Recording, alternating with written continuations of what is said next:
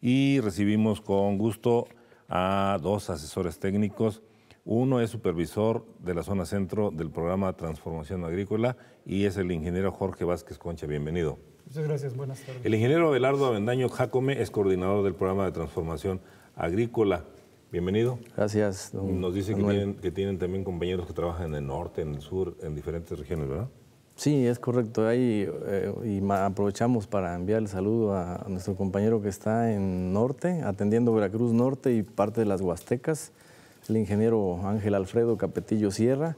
Y el otro compañero es eh, José Andrés García Molina, atendiendo la parte sur del estado de Veracruz. Ya nos dirán después cómo nos contactamos con ustedes y con ellos para aprender, entre otros temas, del ensilaje de maíz. Suena bonito esto, es metafórico quizás, o ya me dirán ustedes si es físico, un segundo piso para su rancho. A ver, cuéntenos. Bueno, realmente, este, hablando de, lo que es eh, en la ganadería, el hablar de un segundo piso para sus ranchos eh, lo hablamos de una manera más técnica que metafórica. Sí. ¿Por qué? Porque el, ganadero está muy acostumbrado a utilizar los potreros como eh, su principal fuente de forraje y no está muy acostumbrado a utilizar otra fuente de forraje, en este caso, por ejemplo, el maíz, para poder hacer silo y darlo de comer en las épocas de estiaje. Es por ello que nosotros, eh, de manera coloquial, le decimos un segundo piso para su rancho. ¿no? Bueno, es que a lo mejor no hemos sido buenos lectores o buenos oidores de lo que nos dicen, porque desde tiempos ya remotos nos hablaban de que había que prepararse para los años de las vacas flacas.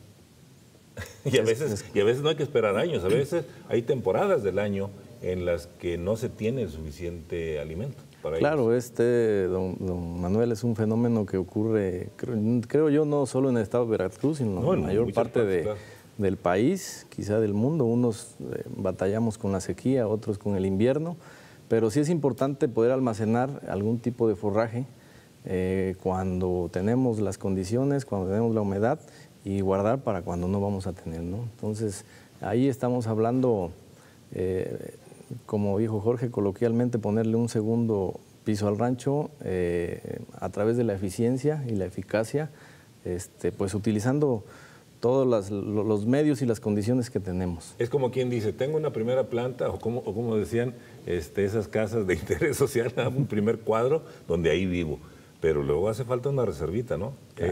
Ahí estamos viendo un plantío de qué. Sí, en este caso es, maíz, lo que nuestra especialidad es este, hacer silos eh, con el cultivo de maíz. Este, estamos viendo una planta aproximadamente 30, 35 días de, edad. Bueno, esa ya también se mete una mazorca ya lista para cosechar. Sí. Este, son, son diferentes imágenes, ¿no? A ver, luego los que no sabemos mucho del asunto hablamos en forma indistinta de silo, ensilaje y de términos que se parecen pero que no son lo mismo. ¿Qué, tenemos que diferenciar ahí? Bueno, si me permites, el silo este, eh, se puede utilizar, eh, mucha gente, o más bien, mucha gente conoce los silos como aquellas estructuras donde se guarda el grano o se guarda cualquier otro este, alimento ¿no? para posteriormente usarse. Eh, hablar de, silo de maíz, estamos hablando de cosechar el, maíz, triturarlo, picarlo muy finamente y hacerlo en diferentes formas, ya sea en trinchera, ya sea en pastel, para almacenarlo durante un periodo y poder dárselo al ganado en las épocas, como mencionabas hace rato, las épocas de sequía, ¿no? Entonces, eh, en sí el silo es eh, la técnica, la manera de poder guardar el alimento para poder utilizarlo posteriormente en, épocas de estiaje.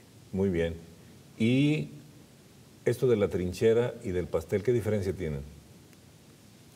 Eh, son los tipos de silo, ¿no? Como bien Jorge comentaba, es, eh, un silo sería la estructura, ¿no? Entonces, anteriormente se acostumbraba a hacer eh, dos paredes y dejar un espacio en medio este, y, quizá enterrarlo, ¿no? Esa era la, la trinchera. Luego pasó, pasó de moda y vino el silo de búnker, que era a nivel de piso, dos, paredes, pero a nivel de piso.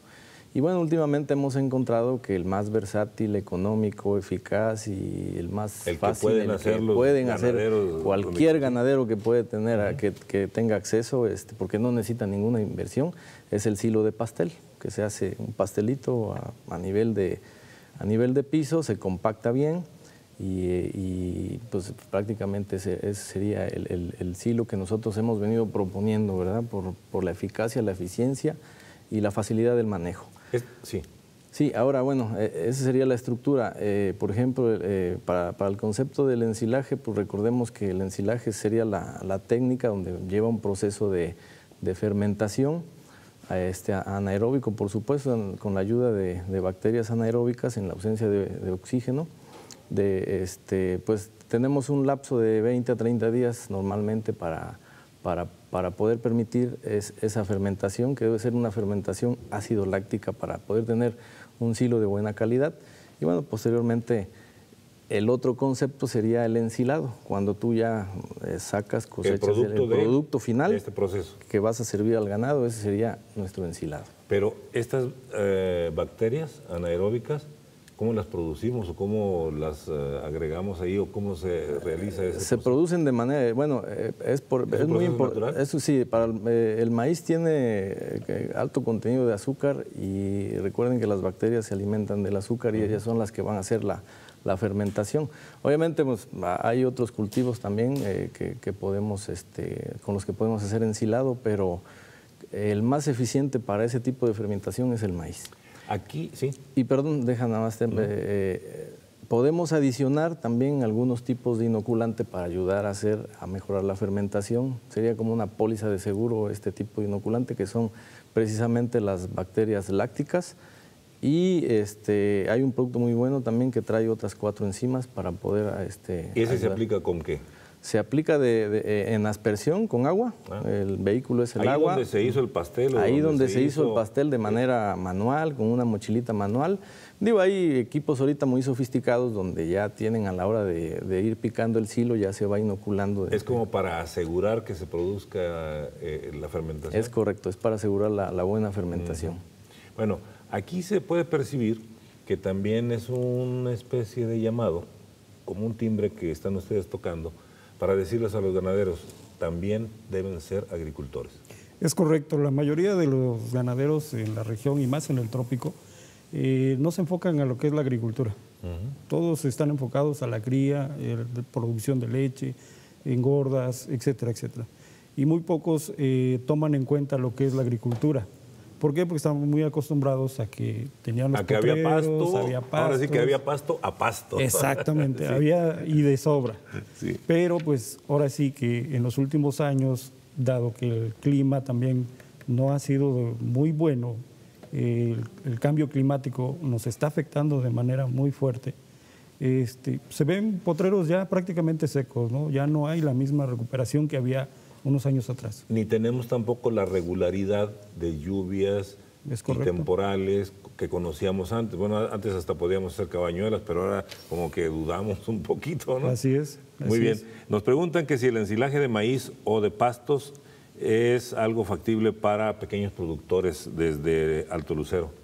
Claro, claro. es decir, no, necesitamos tener una inversión enorme para esto. No, claro, o sea, con todo gusto los podemos apoyar, eh, ya de manera directa podemos asistir al productor, podemos hacerle unas par de visitas y sin problema los... Porque puede ser, como, como decíamos hace un momento, que poco acostumbrados a la agricultura y a vivir, diríamos, un poco expensas de la temporalidad o de, de los pastos de temporal, pues no, sabemos bien cómo hacer ese trabajo, se pueden comunicar con ustedes. Claro que sí. ¿Dónde les pueden eh, A nosotros, bueno, tenemos un, número telefónico. Eh, mi número telefónico es el 229 350 5697. Ahí me pueden contactar. Muy bien, es el ingeniero Jorge Vázquez Concha y ya van a seguir platicando con nosotros porque el tema da para más. De modo que hay que pensar en si es una ganadería pequeña, si es una ganadería mediana o, grande, en esa necesidad de guardar alimento y de mantenerlo en buenas condiciones. Claro. Porque no, no es nada más de amontonarlo, sino hay que seguir otros pasos. Claro, sí, hay, hay, hay un, un, proceso pues, muy fino que seguir, pero cuando, cuando hacemos las cosas bien, las prácticas se hacen bien, entonces estamos del otro lado y, y el agricultor mismo empieza a ver los beneficios. ¿no? Desafortunadamente sí nos hemos topado con muchas malas experiencias este, porque sí ha cambiado mucho eh, el estilo del, ensilaje hace 10 años a la actualidad. Este, pero una vez eh, que el productor eh, tiene un buen rendimiento, hace bien el picado, hace un buen compactado, se, da cuenta rápidamente, ¿no? En, tres días él está viendo los resultados al momento que está sirviendo su ensilado. Vamos a continuar con el tema y volvemos. Hacemos una pausa en Veracruz Agropecuario. Estamos hablando de silos, ensilaje. Continuamos en nuestro lunes de ganadería sustentable y si usted acaba de encender su radio o televisor, lo ponemos al tanto. Miren, están en el estudio con nosotros el ingeniero Jorge Vázquez Concha. Él es supervisor de la zona centro del programa Transformación Agrícola y el ingeniero Abelardo Avendaño Jacome, coordinador del programa Transformación Agrícola. Estamos hablando sobre el ensilaje de maíz en un segundo piso para su rancho, como en la Ciudad de México, el segundo piso, pero en este es del campo. Qué idea tan creativa, la verdad, felicidades chicos. Y nos llegan preguntas al respecto. Justo Sierra Damián, de aquí de Jalapa, pregunta qué porcentaje de su terreno tendría que sembrar de maíz si tiene 20 hectáreas y 24 vacas lecheras. Es una muy buena pregunta, muy precisa. Muy buena pregunta. Siempre que hay números hay precisión. Gracias, gracias. Bueno, eh, vamos a tomar en cuenta que, que cada cabeza consume alrededor de, dependiendo qué insumos tenga En, la, en, la, región, con qué esté complementando, porque podemos, podemos decir que el silo de maíz es una muy buena fuente de, de fibra y de energía, pero de todos modos sí tenemos que complementar con un poco más de proteína para poder balancear la ración, ¿verdad? Entonces, dependiendo de los insumos, pues aproximadamente entre 20 y 25 kilos puede estar ofreciendo él de, de, ensilado de maíz a sus vacas lecheras. Y bueno, ¿qué tiempo eh, desconocemos eh, eh, la disponibilidad de pastos que tenga él? podemos hacerle una, visita y en base a eso pues podemos recomendarle el, el, hectareaje que puede él sembrar para, para, poder tener el silo disponible todo el año. Con todo gusto, claro. Teodoro Gutiérrez les pregunta, ¿los silos con qué se tapan? ¿Los hilos tipo pastel? ¿Así se dice? Sí. ¿Con qué se tapan? Bueno, eh, la mayoría de los eh, productores eh, que hemos atendido siempre les hacemos la recomendación que utilicen un plástico, el plástico calibre 600. ¿Por qué ese tipo de plástico? Porque es más resistente a la luz solar y evita que penetren los rayos UV hacia el silo. Esto ayuda a que la, a que la fermentación sea más eficiente y eh, que no se queme mucho la superficie del, silo, ¿no? lo que está expuesta y pegada al plástico. Además de que es un plástico que eh, dura bastante, ¿no? por lo regular siempre nos dura dos o tres, tres temporadas. Puede utilizar cualquier otro tipo de material que tenga a la mano, lonas eh, a veces de espectaculares que se encuentran por ahí, pero sí le recomendamos que si va a utilizar eso, que de preferencia utilice un plástico por abajo para evitar que le penetre humedad. Claro porque es un riesgo tremendo. Una vez que entra humedad, ¿no? Pues se aborta la misión. Es correcto. Y es una inversión, digamos, eh, que eh, este material que usted explica es una inversión que bien vale la pena también realizar, porque si se lleva a cabo de manera correcta la práctica, pues tiene una vida útil de bastante tiempo, ¿no? Sí, por lo regular siempre dura dos o tres ciclos más, ¿no? este, obviamente buscamos en el mercado que haya materiales mucho más resistentes, eh, para que también eh, al productor a la larga lo que vaya a invertir pues, le sea redituable en su producción. Eh, hemos tenido experiencias que han utilizado plásticos más delgados por economía, porque piensan que es más barato, bueno, puede funcionar igual, pero a la larga pues sale más caro, ¿no? Este, si llega a llover muy fuerte, a veces llega a tener penetración de, de humedad y pues eso, eso echa a perder el silo, ¿no? Claro.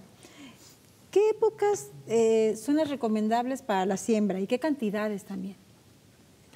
Eh, eh, para el caso de zona centro, la temporada de lluvias inicia a mediados de junio, todo junio, puede ser todo julio, agosto, es cuando tenemos este, disponibilidad de humedad y podemos hacer nuestra siembra.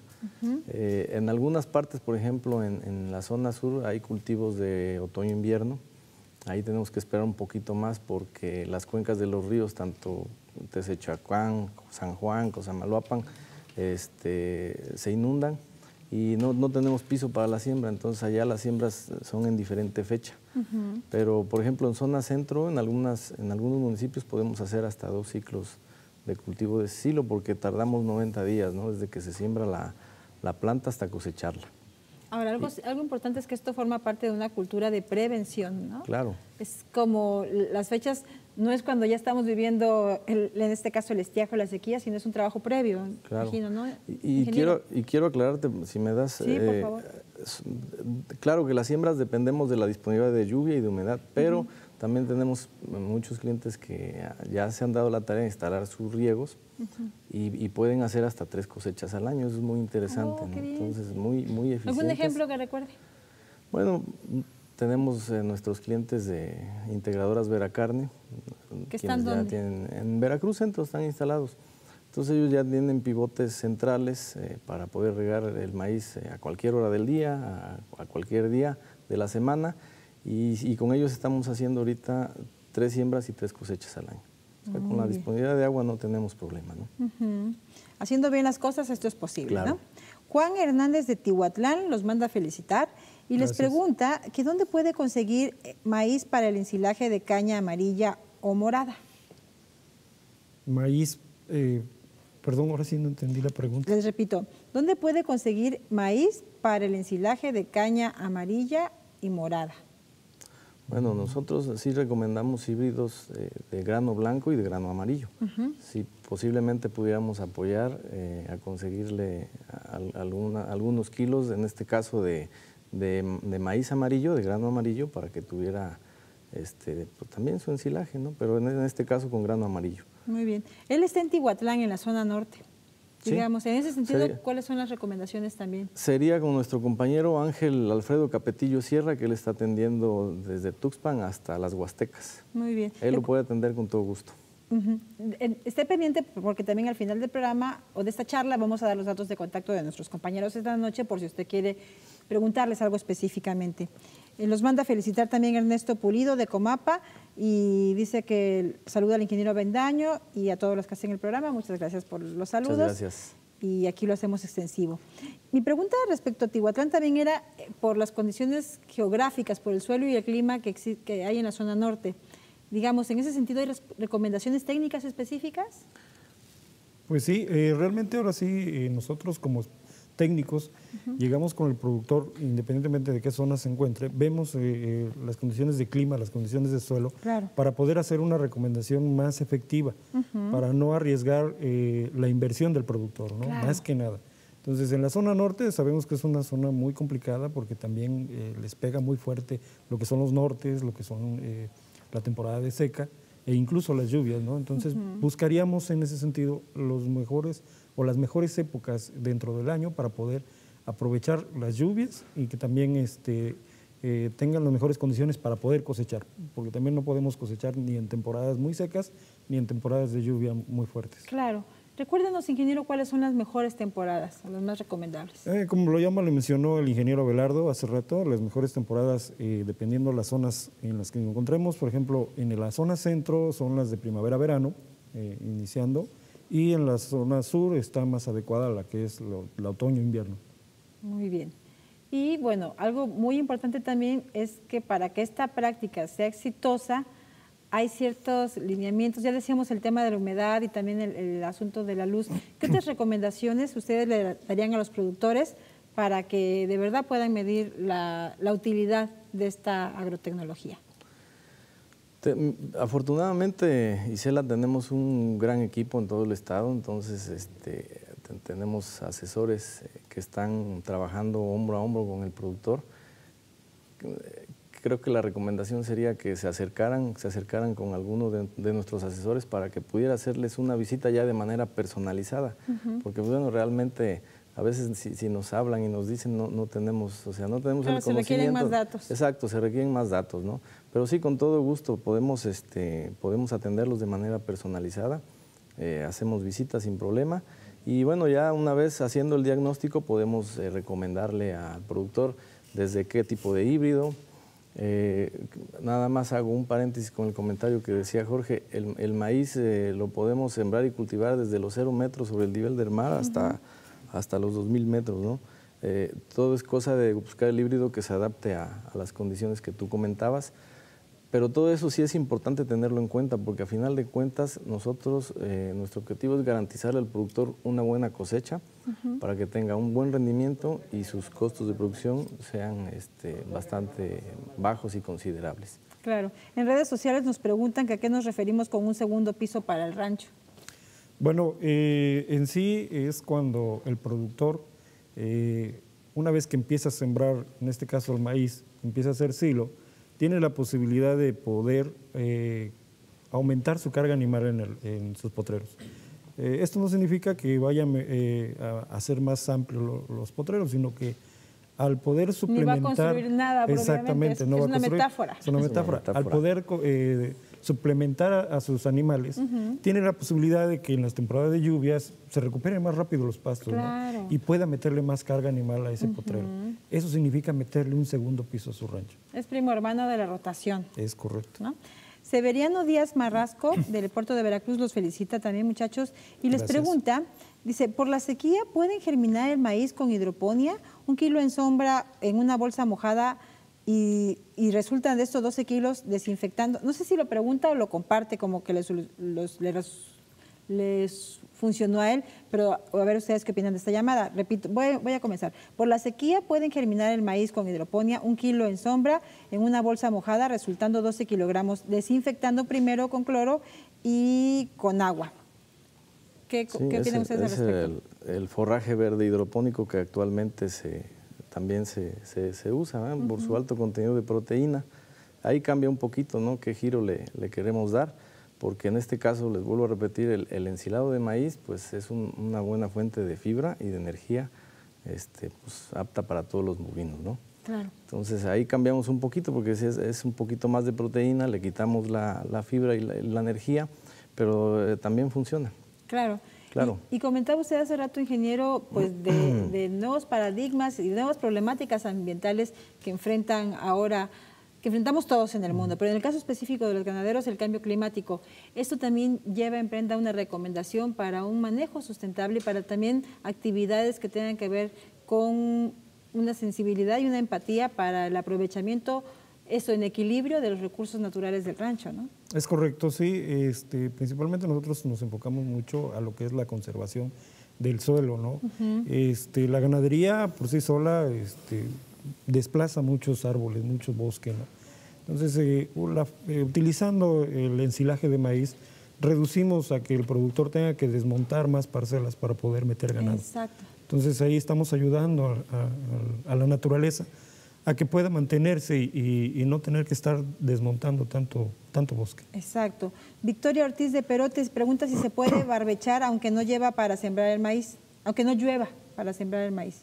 Si se puede barbechar. Nosotros recomendamos también mucho la labranza cero, ¿no? Como conservación de, suelo. Y, pero bueno, si así lo decide el productor, este, es, opción, ¿no? Es viable también.